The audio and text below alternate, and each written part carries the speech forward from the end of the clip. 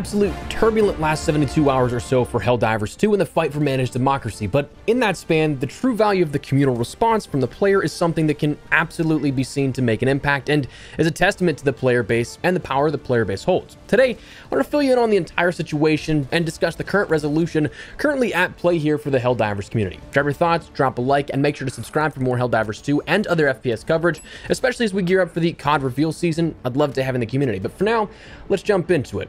Here's what happened. So, Sony announced recently PC players must link a PlayStation account, otherwise, they wouldn't be able to continue to be able to play. That was supposed to go in effect as of today, but what was interesting is that the very beginning here, this was contrary to what we had seen from launch until up until this point. You could link an account, but whether by error or intentional, it was said it was some technical limitations as to why it wasn't enforced, but you could skip it entirely up until this announcement. Like myself, I have a PlayStation account, but I never linked the two together with Helldivers. The problem was, though, was that it was mandatory, or at least that was one step of the problem, meaning that you would not be able to play at all if you didn't link after this update was supposedly going to go in effect.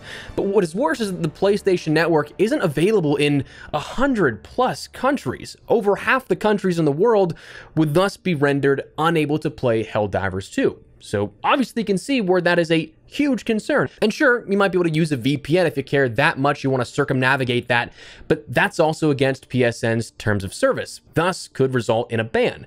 Beyond that, the game was also delisted in those countries, so players who had bought the game previously could no longer play it while this was going on. So players who had previously paid for played up until that announcement and everything in between. They loved it, put their time and effort and money into it, they could not play the game. Even if it was in the Steam library, it just it wasn't available to be played. So it was taken away from them with no consolation or anything like that. So yeah, people rightfully were pissed. Now the whole situation became an absolute mess and naturally, well then that showed in the reviews for Helldivers 2. The one pun that I found the most funny with this was orbital review bomb. But anyways, this was something that was like just, it was unprecedented. I don't think that I'd seen anything like this before. And the only thing that I can really think of in regards to a massive rating bomb, my mind immediately from the FPS space goes to Infinite Warfare's reveal trailer. You know, like the one that to date has almost 4 million dislikes and to date is still the 25th most disliked YouTube video ever.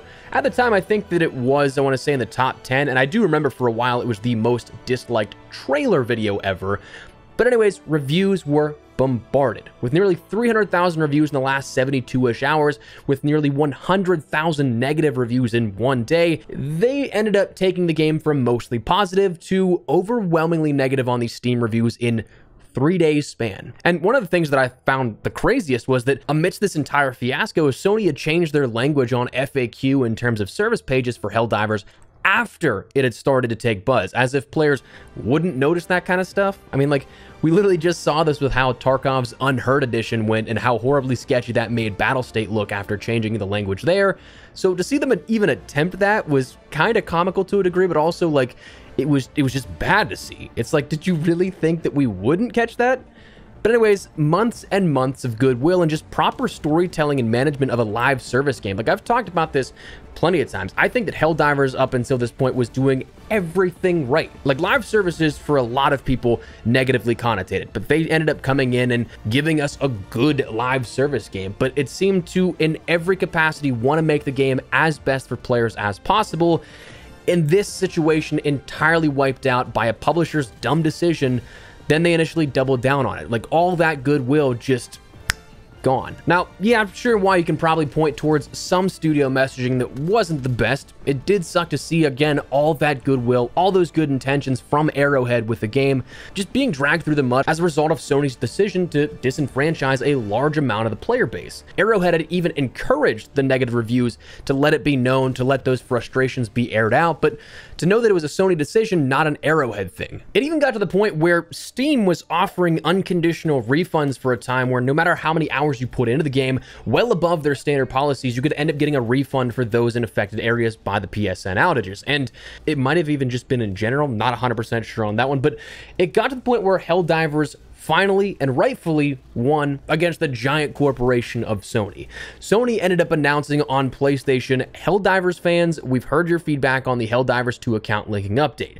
The May 6th update, which would have required Steam and PlayStation Network account linking for new players and for current players beginning May 30th, will not be moving forward. We're still learning what is best for PC players, and your feedback has been invaluable. Thanks again for your continued support of Helldivers 2, and we'll keep you updated on future plans. So, I mean, that just shows the power of community reception right there, but frankly, that is the first time I think I've seen a massive corporation like this actually backpedal on this kind of thing, which is another win. Not only did we just win and get this sort of thing reverted where it's not going to be anything you have to take into account or you're not going to see any loss in player opportunities because of PlayStation availability in certain areas, but just the fact also that they actually walked it back. When we've seen, again, so many other studios, publishers in recent years double down on very stupid decisions for the players, all in the name of trying to make an extra buck or something by pushing a subscription, pushing a whatever it may be. But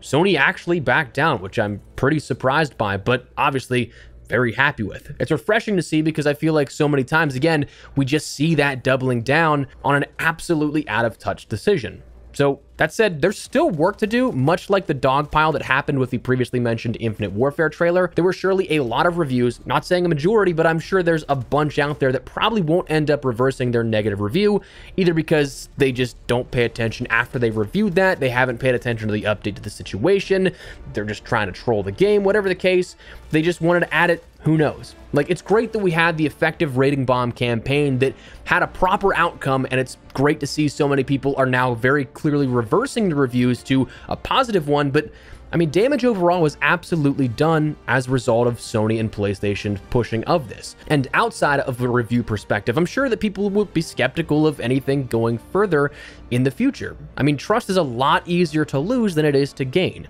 So even while we touched on that Arrowhead and the actual dev team seemingly just want what's best for the project and their players, even though we're back to square one to where we were like a week or two ago at this point, before the information of account linking and the update upcoming, you can't pretend like nothing happened because the evidence is so clearly there. So while I'd love for 100% of people to recognize, hey, this was Sony's screw up, PlayStation screw up, Helldivers is going to have to instill more confidence once again. And I think it's certainly possible. The game has, again, as I mentioned, been a beacon of how a development team can work for the player and make an awesome game going forward. It just sucks to see a reputational stain on this game because it's something seemingly out of their control a little bit. Personally, I always thought that if you were to just have an optional account linking with a unique skin reward for linking your accounts, if you really cared about that sign up or the data here with that kind of stuff, don't make it mandatory, but then offer an incentive to do it. I feel like this entire situation is just a non issue. I don't think that this ever gets off the ground if it's an optional thing.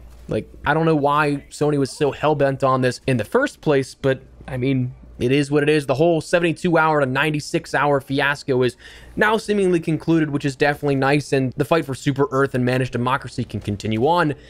But man, what a situation it was. It sucks to see because, again, Helldivers was killing it, I think, in terms of reputation and how everything was perceived.